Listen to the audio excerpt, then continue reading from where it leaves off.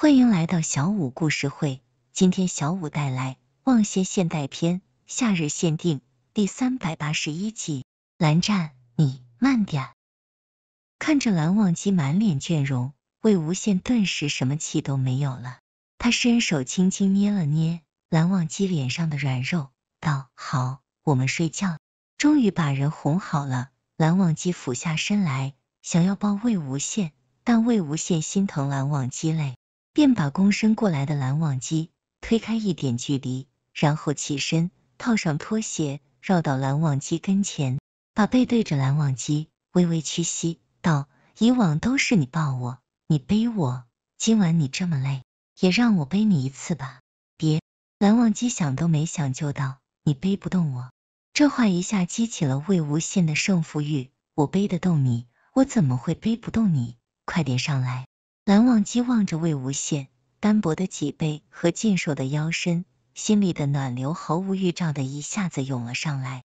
从小长这么大，还没有把背脊送到他跟前说要背他，除了很小很小的时候，又一次生病了，叔父又不在家，哥哥背着他去医院那一次，还从来没有人背过他。现在他既没生病，也没受伤，只是因为心疼他累了就要背他的人。恐怕这世上也就只有魏婴一个人了吧。魏无羡就这样躬身了好一会儿，也不见背上有人扑来，便回过头去看，就看蓝忘机站那儿看着他发呆。魏无羡瞬间皱眉：“蓝湛，你看什么呢？上来啊，我背你去睡觉。”好。蓝忘机鼻头一酸，只觉自己心里的暖流就要沸腾了一样，好暖好暖。他想背一次就背一次，以后。换他来背魏婴一辈子，这么想着，蓝忘机俯身趴到了魏无羡背上，双手手臂松松的环在魏无羡的脖颈上，魏无羡则是双手搂住蓝忘机的腿弯，一用力就把蓝忘机背了起来。虽然有点吃力，但还是能稳稳的将蓝忘机背在自己背上。两个人本身就差不多高，顶多也就两厘米的差距。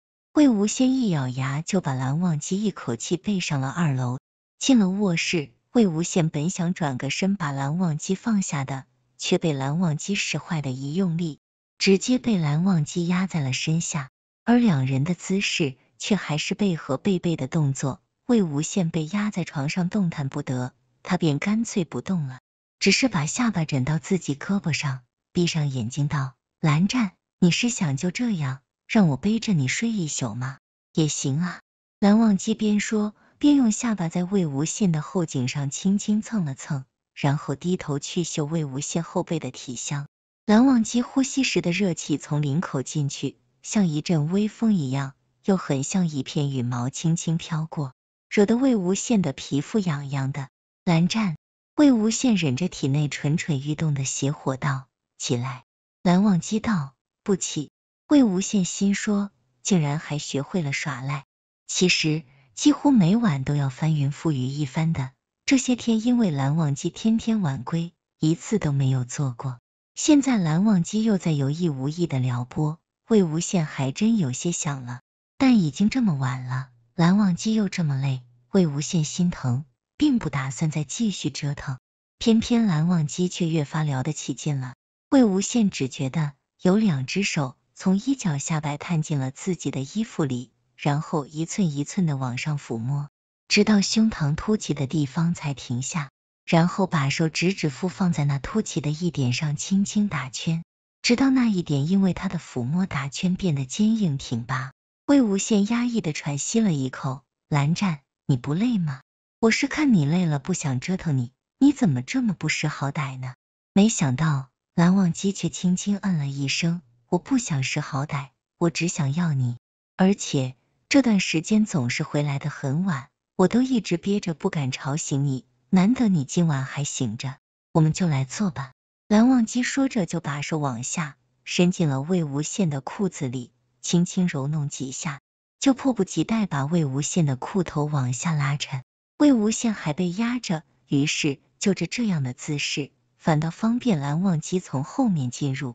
五。魏无羡把头埋进臂弯里，闷哼一声，紧接着臀部就被人抬了起来。深入浅出的动作，伴随着摄人心魄的呻吟，蓝忘机撞击的越来越重，喘息也越来越粗。啊！魏无羡被撞的身体耸动，反手抓住蓝忘机的大腿，喘息着哀求：“蓝湛，你慢点。”于是，一周的忙碌中，在魏无羡火气并未完全消散的情况下，由蓝忘机亲自主导了一场温柔而热烈的情事。